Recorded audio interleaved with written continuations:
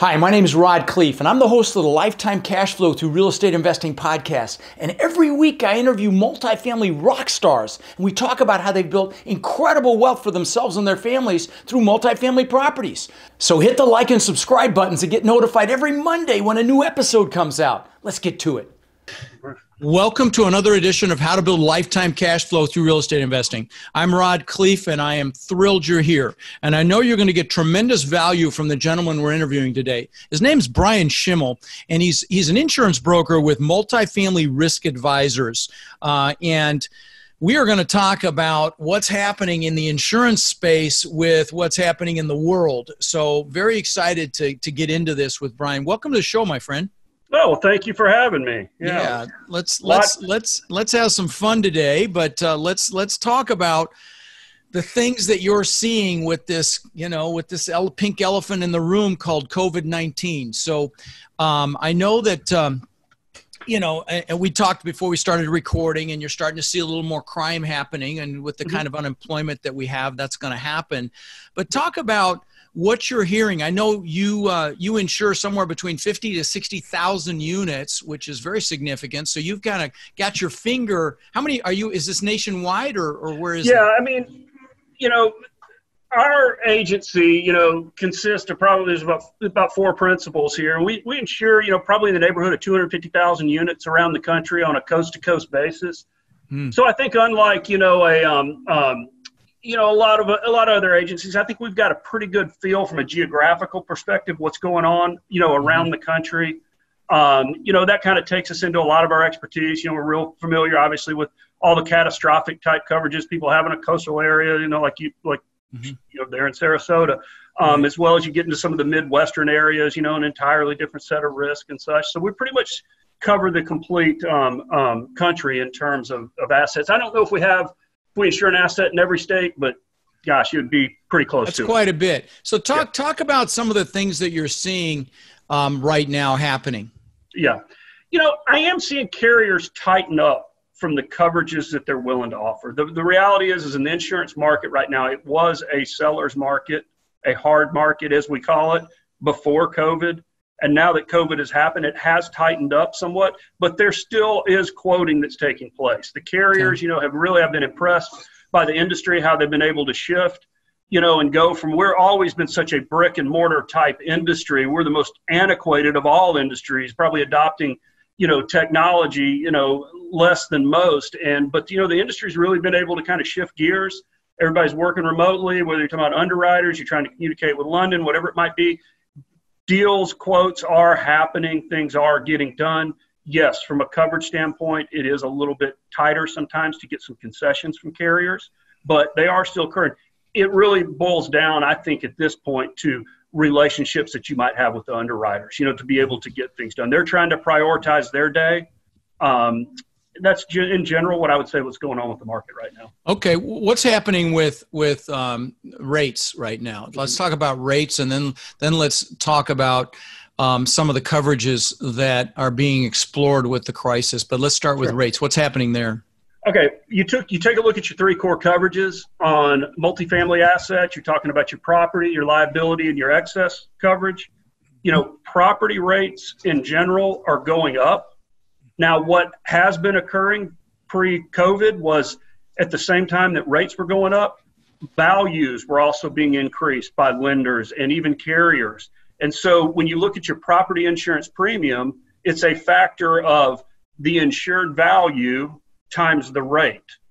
And so when the rate's going up and the value's going up, your premium's going up significantly. Right. I haven't seen, but you know, at all values drop yet, but you can only assume that in a market, you know, like this, that potentially you could see, you know, the values being decreased somewhat. Which oh no, there, will be some there'll be some some flatlining and probably some yeah. contraction for sure. Um, okay, and so the property, but how about liability and excess? Is that rate going up as well? Yeah, the liability markets right now, I think, are even a little more difficult than the than the than the property markets. It's just a very confined marketplace right now um, that, that's taking place. And um, you know what you're seeing a lot of is carriers trying to cover their bases from an exclusionary standpoint um, with things like assault and battery exclusions. you are trying to. You know, I'm not so much seeing the rate jump. I mean, it's a very unique market. Um, just yesterday, you know, I received a quote that was one of the lowest general liability quotes I've gotten on a property in probably a year. It really kind of surprised me um, a Birmingham property. And so, but you know, but and this one was without, you know, it had no exclusions. That sounds no familiar. That sounds yeah. familiar. Yeah. that's the, that's the asset I think we're looking at. I'm assuming. No, no? it's it's not. I wish it oh. was for you, but it's okay. actually not your asset. It's okay because we're looking at one there too. Anyway, please yeah. continue. Okay. So yeah, so um, so you got this low premium, but but did you did you notice there was an exclusion? No, not in oh, okay. which is okay. just super surprising. Okay. But okay. but let me give you the company line, the industry line. I would say in general, liability rates, eh, you know, are, are creeping up, and exclusions are creeping in to many of the policies. Yeah. So you know, that's kind of um, that's kind of what's occurring. And then your excess, you know, believe it or not, out of your property and liability, you know, carriers, it's the excess liability that is probably the most difficult out of them all right now in terms of you know rate increases and everything, but pretty easy placement. But the cost, nobody feels real good about their excess liability costs right now. Right, right, um, right, right. But so, know, but, go ahead. No, I was going to say, but you know, it's it's tough to really predict the fallout with this thing. You know, these insurance carriers invest so much money in the the, the premium dollars that come in into the market. You know that there is a school of thought that you know, with the downturn in the market of where it is, maybe these carriers will start trying to bring in premium dollars and get it invested in the market on the rebound. You know, and that's mm-hmm. a that's a very legitimate, you know, line of thinking um, mm-hmm. with regards to insurance rates. I mean, you know, rates in the insurance industry fluctuate somewhat like the stock market, but it's just over a much longer period. You know, when they take mm-hmm. a direction, they'll continue that direction for a quarter or a good part of a year, but then they'll start heading in another direction at some point. And I don't think anybody knows for sure right now. Interesting, interesting.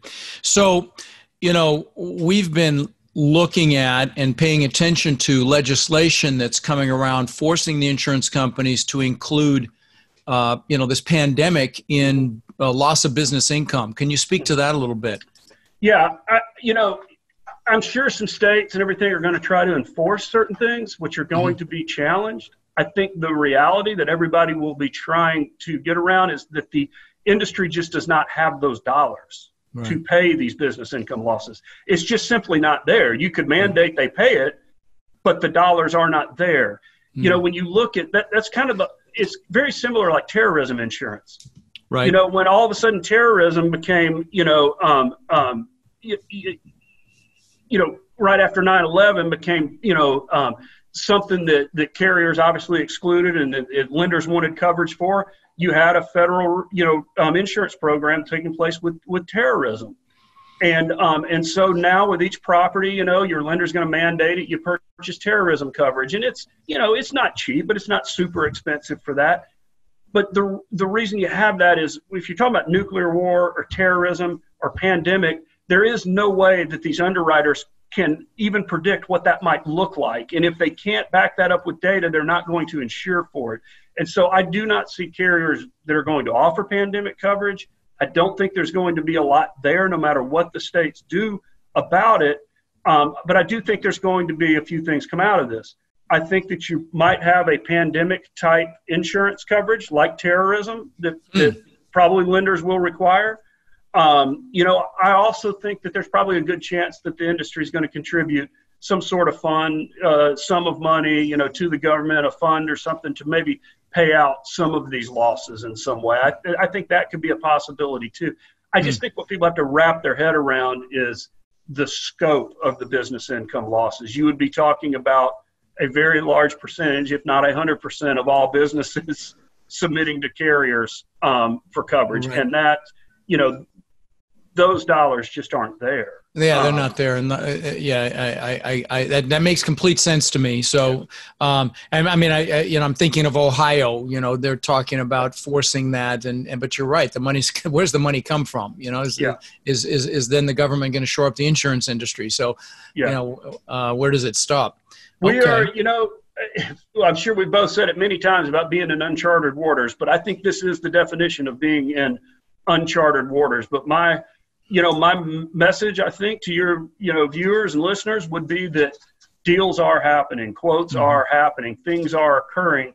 yes, the pace has slowed up somewhat, but you know, I got a lot of my clients that are going back and revisiting deals that were that they maybe didn't get two, three months ago.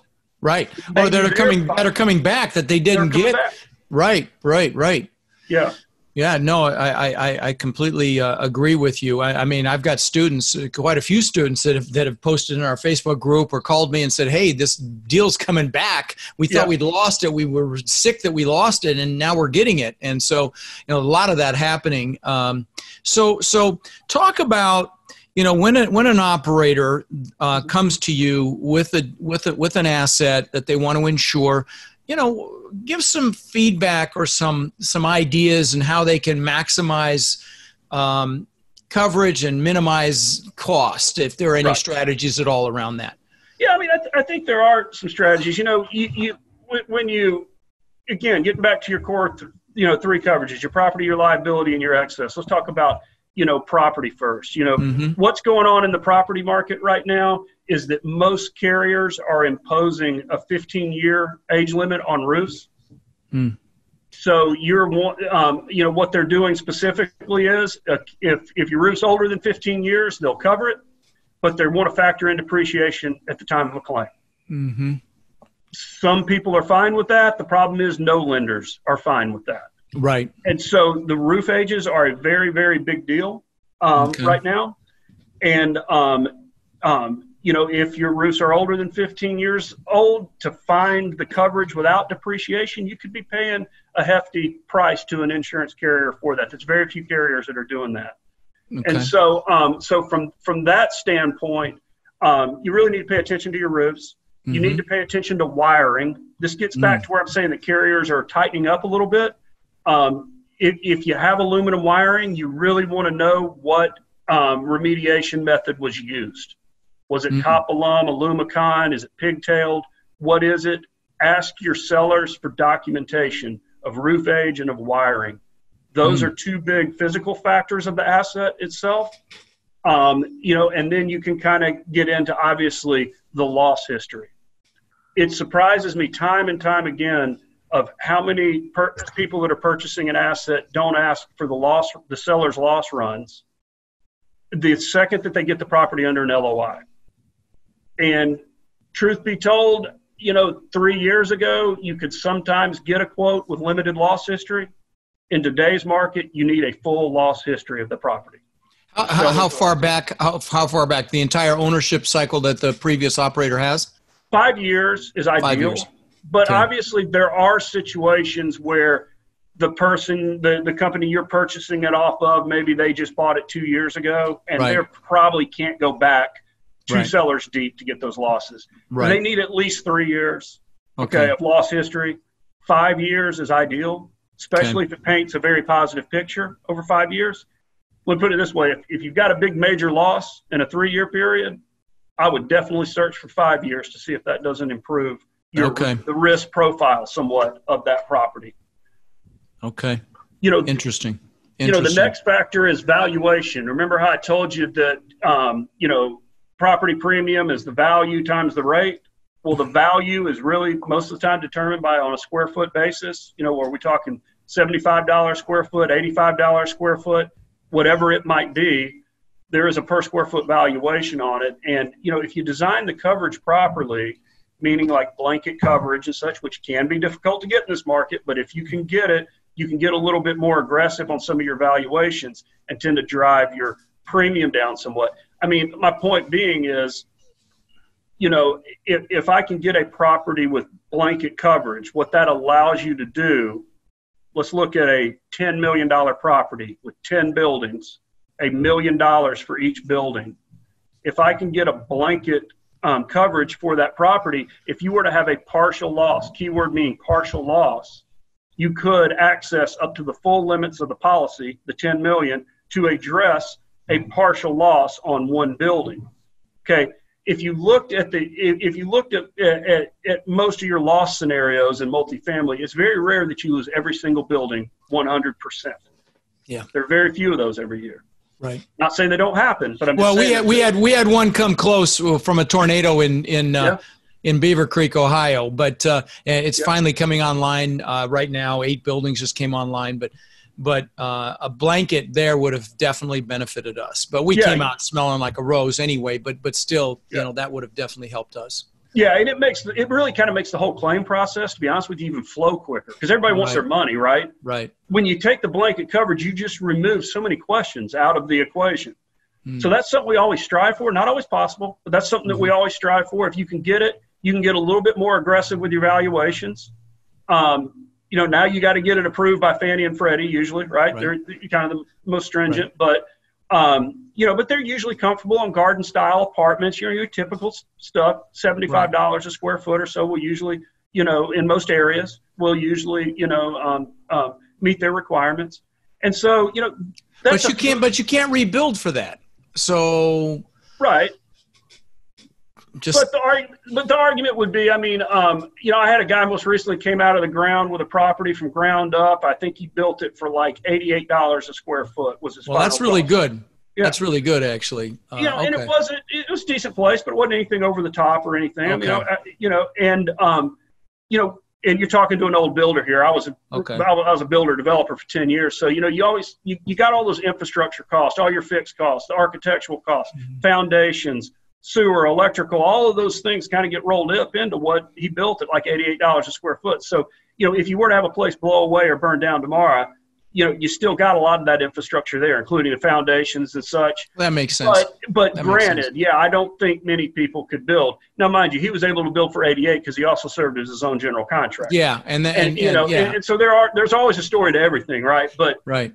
But you know, I would say, yeah, in, in you know, in general, 75 85 dollars a square foot for a garden style apartment in the in the southeast seems to be you know the number that most people work with. But again, every property is different. That's like saying you know you know, just depends on the amenities, the how many stories, the whole nine yards. So, so what other words of wisdom would you share with with you know people that aren't as familiar with the insurance piece of multifamily investing?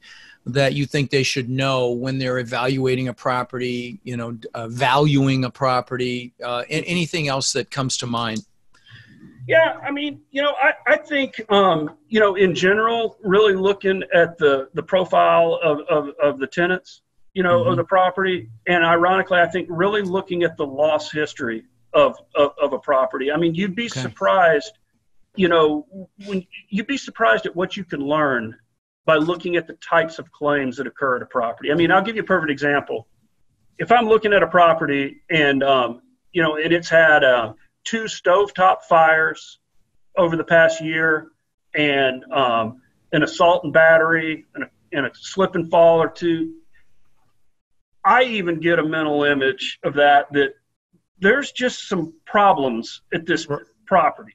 Right. And we all know that curing those take take time. You take know, time and money. Yeah. Take time take time and money. Yeah. And to factor those things in. The other ones I'm going to kind of bring up a point that I brought up earlier, and these are these are what I perceive to be mistakes of that I see some of my clients make, and that is pretending that the losses don't matter Mm. The entire industry is built on it. You have to have them. There's never been a deal that's gone down that didn't have the losses, and so get them up front. No, because that's, that's, good advice.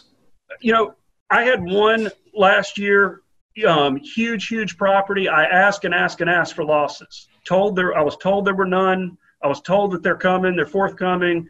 Um, I actually was able to get a quote subject to losses. I had to right. present losses. They said, "All right, we'll get them from the seller." three days before closing, they presented almost five million dollars worth of losses on it. Oh God! Carrier uh, pulled the carrier pulled out of the pull, pulled out of the whole deal, wow. and um, you know three days before closing. And so, and it doesn't take five million. You might be surprised sometimes at what that number is. That number might be five, six hundred thousand dollars. Might just throw it out of an underwriter's ability to offer a quote. Right. Wow. You know, they don't have to offer these quotes. They have parameters that they can operate sure, within. Sure, sure, and, and, and that so, probably escalates to different people if if if they can do it yeah. at all. Right. And so get your hands on the losses. The other ones I see roofs. I see sometimes people think that they're not going to catch these roof ages.